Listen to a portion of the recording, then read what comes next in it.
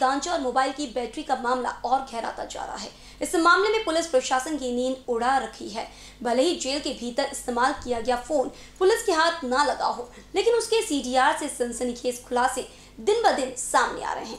आपको बता दें कि नागपुर के सेंट्रल जेल में मुंबई के गैंगस्टर और नक्सल गतिविधियों से जुड़े लोगों से भी बातचीत की गई है। ऐसी भी चर्चा जोरों पर है। नागपुर सेंट्रल जेल में गांजा और मोबाइल की बैटरी का मामला और ही गहराता जा रहा है। इस मामले ने पुलिस और जेल प्रशासन की नींद उड़ा रखी है। आपको बता दें कि भले ही जेल के भीतर इस्तेमाल किया गया फ़ोन पुलिस के हाथ न लगा हो, लेकिन उसके सीडीआर से सनसनीखेज खुलासे हो रही हैं। बताया जाता है कि जेल के भीतर से एक दो नहीं, दर्जनों लोगों को कॉल किया गया।